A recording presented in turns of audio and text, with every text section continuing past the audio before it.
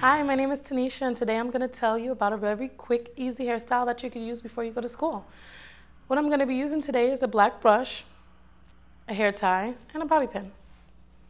Wake up in the morning, a couple of minutes before you have to leave. You don't have much time, but you still want to look good.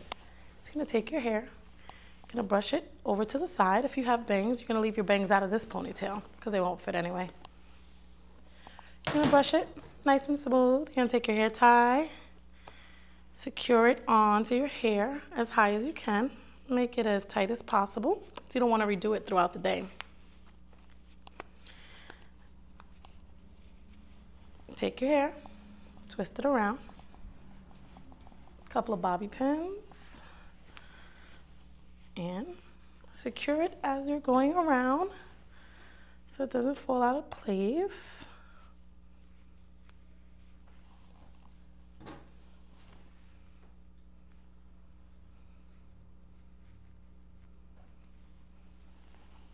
Just bring the bun all the way around.